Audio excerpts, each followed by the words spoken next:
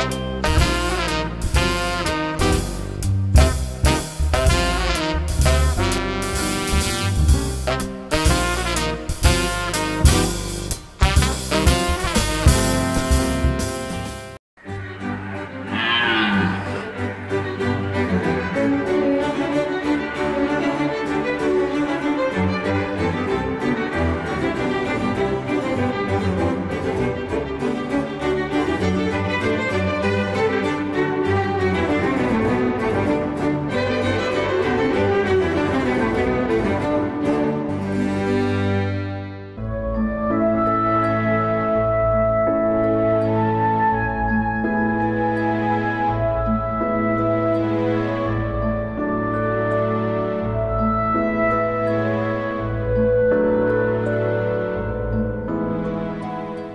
Budapesti Erdőgazdaság ZRT a Bugyáki Káponkán október 23-án az 1956-os forradalom és szabadságharc 57. évfordulóján ünnepélyes keretek között adta át azt az idei esztendőben létesített erdei emlékhelyet, amely az egykori templom romjainál található. A település egyike hazánk legrégebbi, a török hódoltság és a reformáció ellenére is folyamatosan fennálló, mindmáig működő templomos helyeinek. Ennek a hegynek a neve Szent Márton hegy. Szent Márton bujáknak a védőszentje, tehát a templom is, a mostani templom is Szent Mártonra van szentelve, és a plébánál lévő História Domusban van írva, hogy Berkes plébános miután elhelyezték Bujákról, az egyház községre hagyta a szőleit. Azzal a kikötéssel, hogy az ajándékait a mindenkori bujákú plébános, az itt a Szent Márton hegyen lévő kápolnába évente két misét ő írta el, lelkürviért és a családjait mondjon. Tehát biztos, hogy akkor még itt a domtetőn ez a kápolna olyan állapotban volt, ahogy itt misézni lehetett.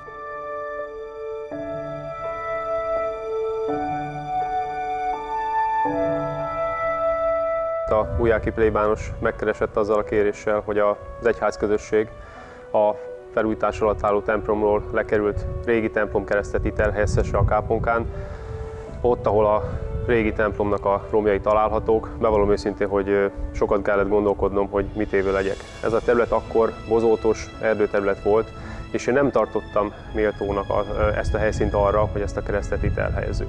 Ez egy elhanyagolt erdő volt mostanáig, gyakorlatilag egy elvadult, bozótosodott terület. Mi egy kirándulóhelyet, egy emlékhelyet szerettünk volna létesíteni, azzal a nem titkolt célral, hogy ide majd nagyon sok ember és hosszú időn keresztül fog járni. Egy maroknyi csapat volt az, aki ezt az elképzelést megvalósította, és tegnap volt az a pillanat, amikor a keresztet végleg a helyére emeltük, és mi se gondoltuk volna, de, de nagyon meghatódtunk.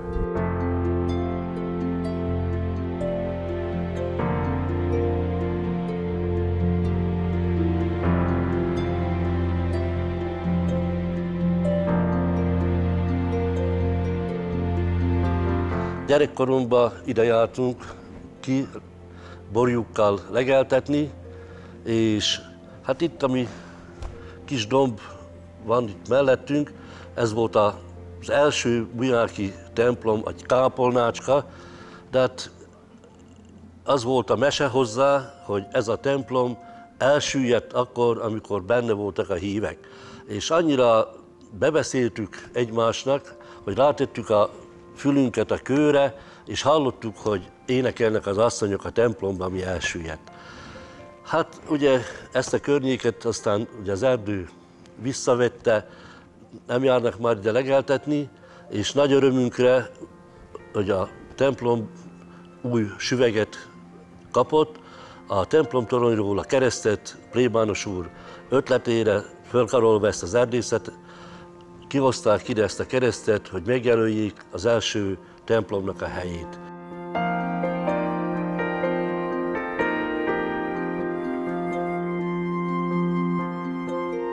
Hát a mai napon úgy jöttünk ide, hogy felavatunk egy emlékhelyet, néhány emberre, maroknyi emberre számítottunk, és ehhez képest nagyon meghatódottan tapasztaltuk, hogy a falu apraja nagyja megérkezett, névviseletben az apró kicsi gyerekektől kezdve az idős nénikig, és ez, ez tényleg hitünket megerősítette abba, hogy igenis nagyon fontos ez az embereknek manapság, hogy, hogy maradandót értéket alkossunk.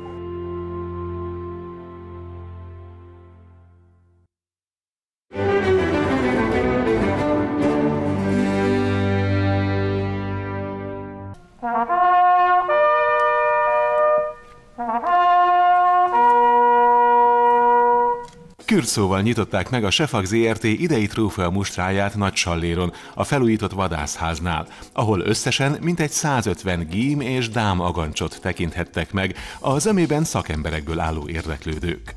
Mai napon megrendezett trófea bemutatónk a cég történetében egyfajta hagyomány. Több célja is van. Egyrészt egy kicsit büszkélkedni szeretnénk azzal az állományjal, amivel gazdálkodunk Szarvasban, illetve Zámbikában. Másrészt van egy kicsit nevelő hatása is, hisz ha valaki megnézi a táblákat a trófeák alatt, ott van a kísérővadásznak a neve is. A cég oldaláról nem volt bevételi kényszer, tehát az első szempont volt az, hogy szakmaiságot tartsák be a hivatásos vadász kollégáink, és aki néha hibát követett el, az itt egy kicsit le, szemlesütve állhat az mellett a trófea mellett, amit elejtett el.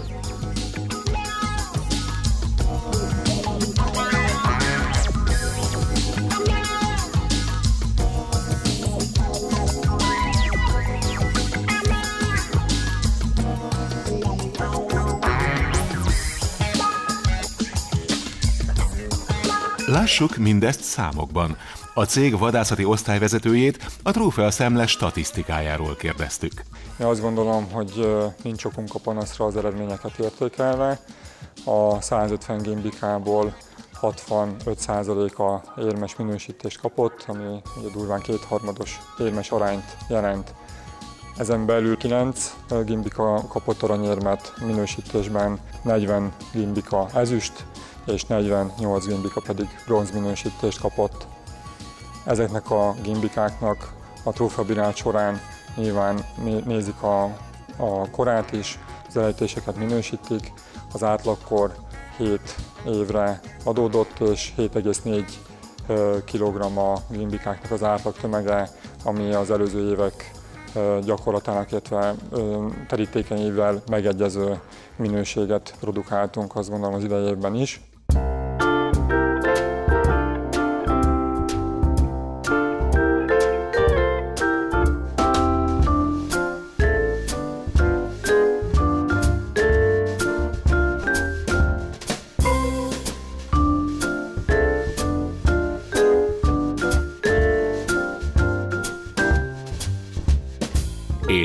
Helyzet a vendégvadászokkal? Vendégeink, mint korábbi években is elsősorban Németország és Ausztria területéről érkeztek hozzánk. A vendégeink közül azonban vannak olyanok, akik minden évben például az Egyesült Államokból is ide látogatnak, és törzs vendégnek mondhatjuk őket. A vadászházainkban, mint például az mellettünk látható Nagysalédi vadászházban is én azt gondolom, hogy megfelelő kiszolgálást és megfelelő színvonalú szolgáltatást kapnak, és ezért is mondhatjuk azt, hogy a vendégeinknek a döntő többsége az évek óta visszajáró törzsvendég.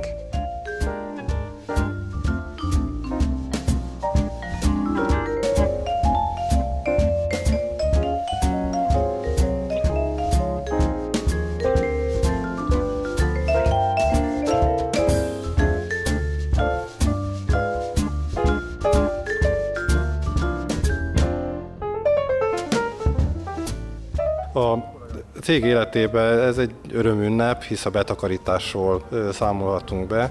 Az ország legnagyobb vadgazdálkodói vagyunk, 103 ezer hektáron gazdálkodunk, és én bízom benne, hogy ez a mai bemutató egy keresztmetszetet ad arról, hogy jó gazdái vagyunk annak a vadállománynak, amit az állam a mi kezelésünkre bízott.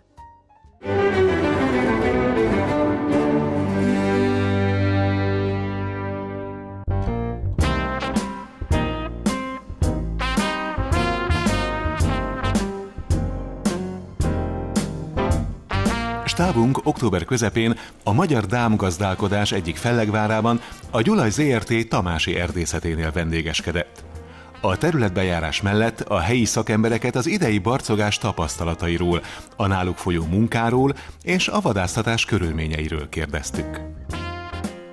Október a dámvadászatában a főszezon, tehát ilyenkor igyekezzük azokat a bikákat elejteni, amelyek a legnagyobb értéket képviselik, a legérettebb, legjobb minőségűek.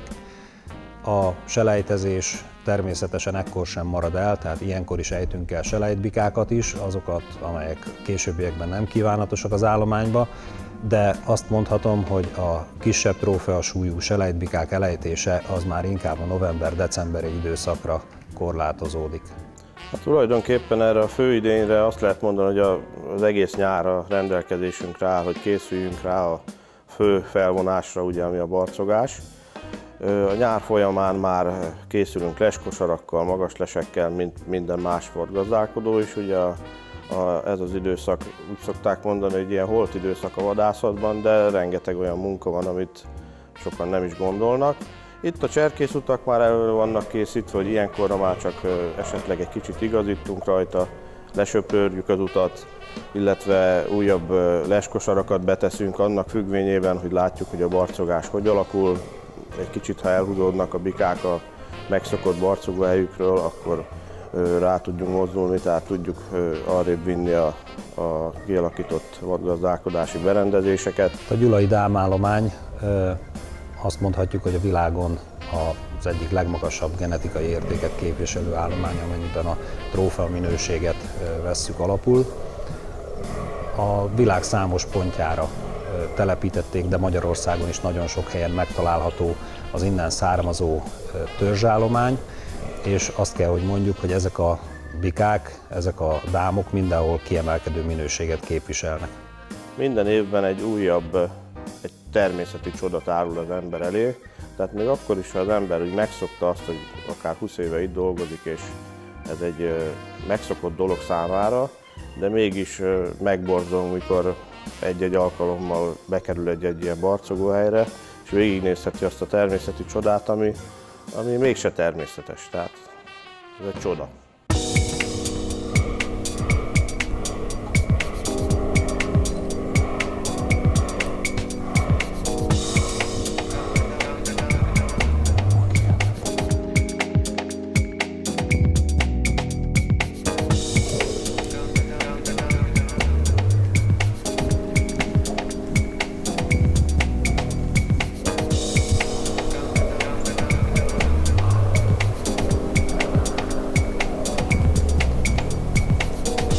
Igazság szerint ilyenkor a barcogásban a vadászati mód az a cserkelés, illetve a lesvadászat.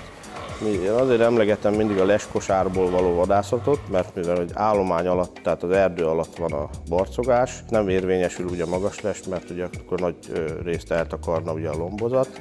Tehát lent a földön ülve mivel hogy általában domboldalban van a varcogóhely, egy leskosárból föl lehet látni a, a domboldalnak akár az élére is.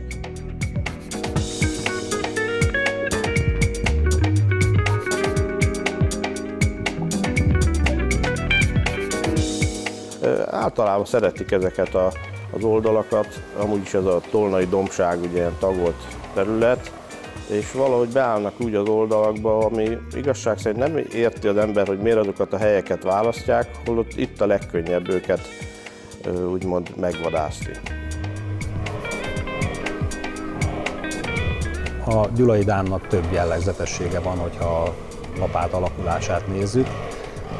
A szárvastagság az jellemzően nálunk nem túl nagy, viszont rendkívül nagy a szárhoz, mutatósak, nagyok a lapátok, és ami kifejezetten a gyulai dámra jellemző, az, hogy a lapát éle, a lapát teteje egy picikét befele hajlik.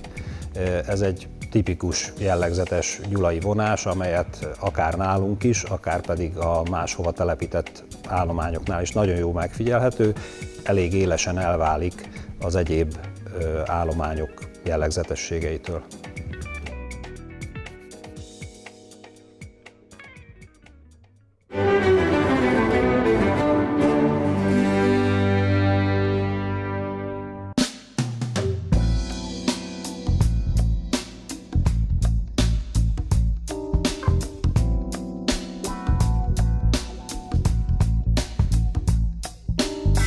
Turisztikai és kulturális látogatóközpontot avattak szeptember végén Alsóperén.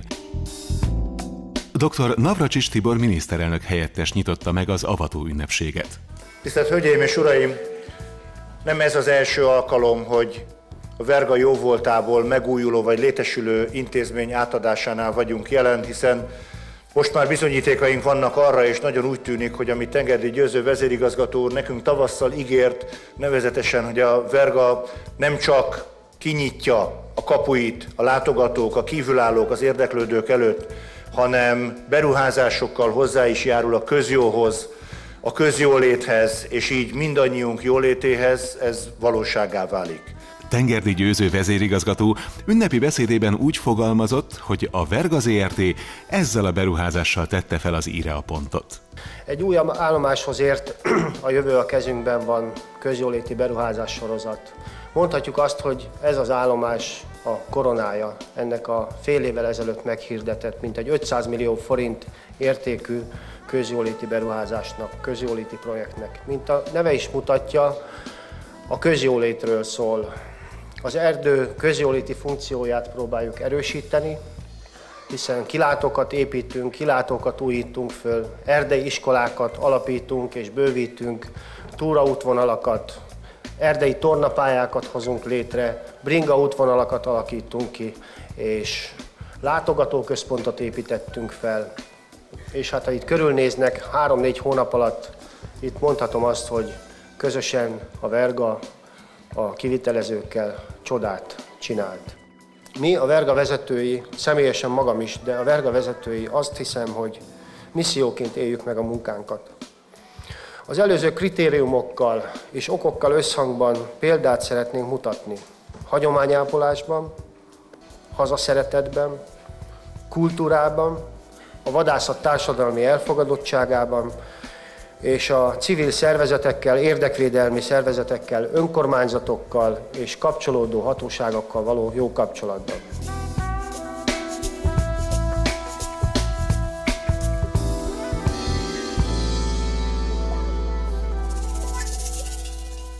A festői környezetben lévő Szent Imre kápolnát ökumenikus istentisztelettel avatták fel.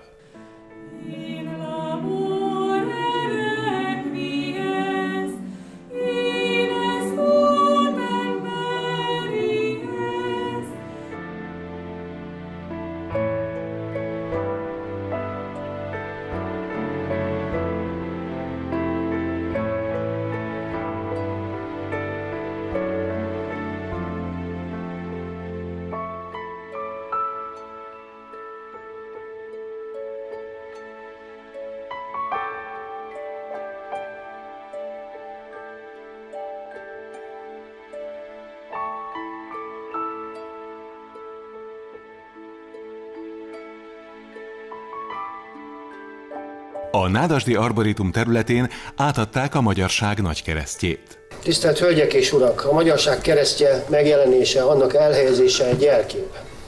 A 8 méteres méret jelképezi azt az erkölcsi magasságot, amelyet jelent nekünk ez a jelkép, és azt az eszmét, amelyet ez a kereszt mutat, jelképez.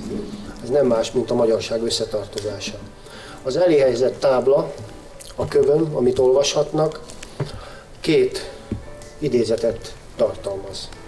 Ne gondoljon senki itt avitt, dolgos múltmerengésre, áporodott eszmékre, de gondoljon mindenki a magyarság 1100 éves múltjára és az 1000 éves kereszténységre. Erre utal ez a kereszt a hozzátartozó idézetekkel.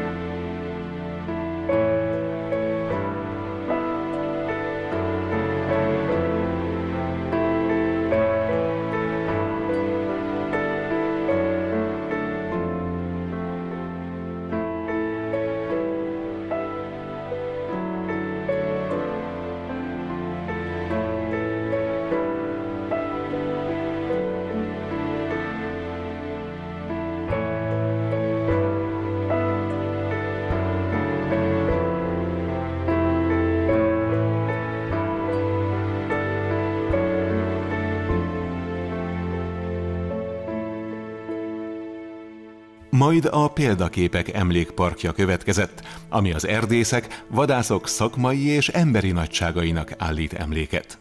Akaratlan is megfordul az ember fejébe, hogy mit adtak ők nekünk, és mit ö, ö, tanulhatunk tőlük.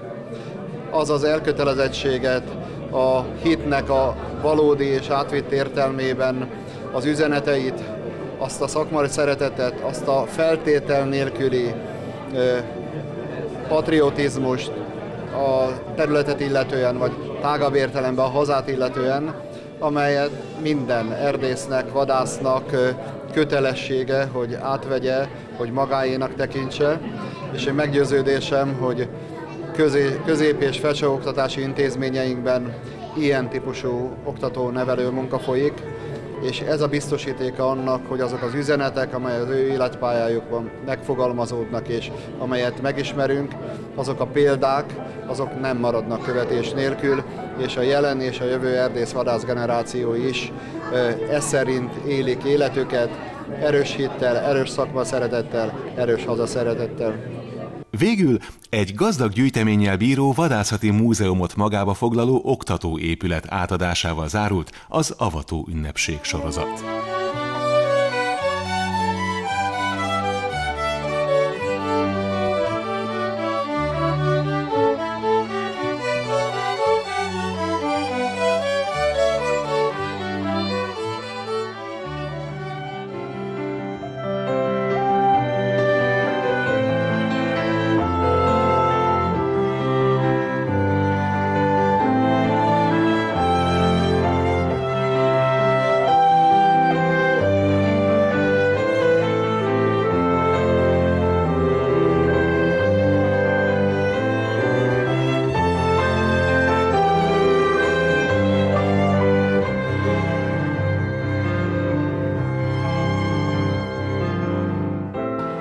Ez a mai nap, ez tulajdonképpen ünnepnap volt, azt hiszem mindazok számára, akik ide látogattak, mert ugye ez a sok színhely, ez a különböző beruházásoknak az átadása, akár benne az épületekben, akár kinn a szabad ég alatt, ez úgy áthatotta az embert ezzel a csodálatos napsütéssel, ezzel a környezettel, hogy megmondom őszintén, hogy én úgy lelkileg, mint szellemileg úgy át azonosultam szinte, mert azt hittem, hogy valóban egy templomba vagyok.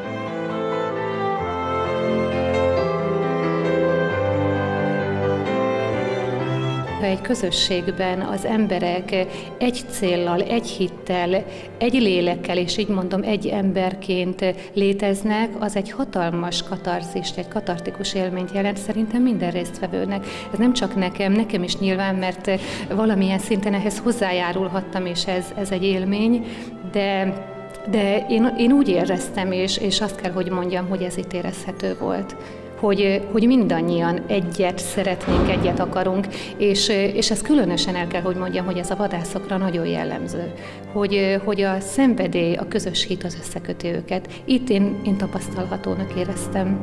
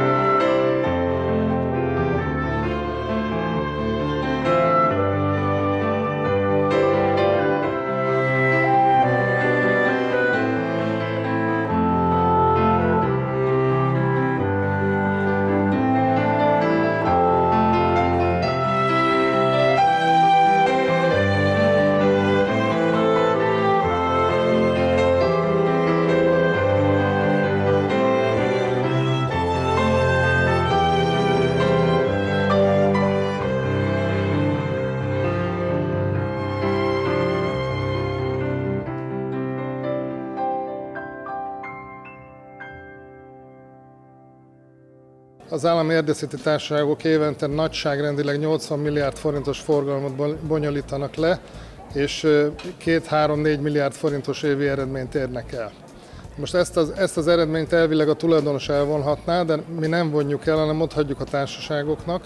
A társaságok ebből két tevékenységet látnak el. Egyrészt a saját gazdasági tevékenységüket erősítik, tehát a rentabilitásukat fenntartják, a pénzügyi ereiket fenntartják, másrészt pedig közjóléti beruházásokat hajtanak végre. Most az elmúlt két évben már 4 milliárd forint közjóléti beruházásra került sor, és ebben az évben pedig mintegy 3 milliárd forint beruházásra kerül sor.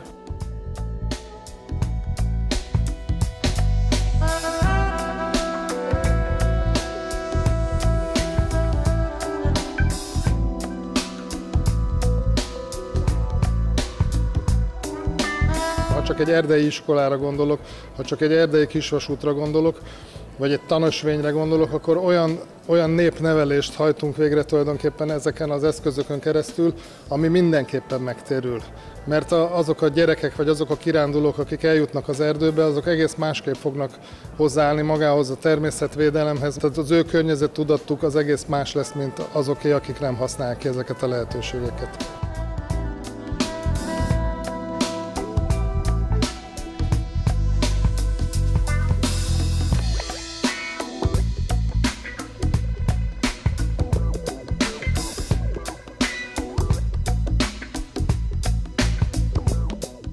Olyan programokat szervezünk, illetve olyan rendezvényeket támogatunk, ahol be tudjuk mutatni az embereknek, hogy a vadgazdálkodás az egy, egy gazdálkodási forma, és a vadászat pedig ennek egy eszköze.